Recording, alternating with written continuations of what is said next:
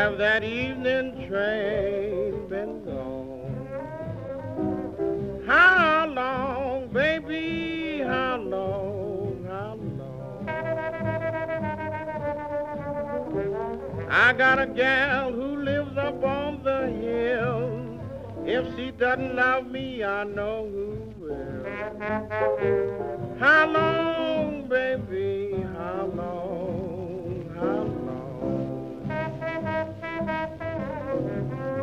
I could holler like a mountain giant, go up on the mountain and call my.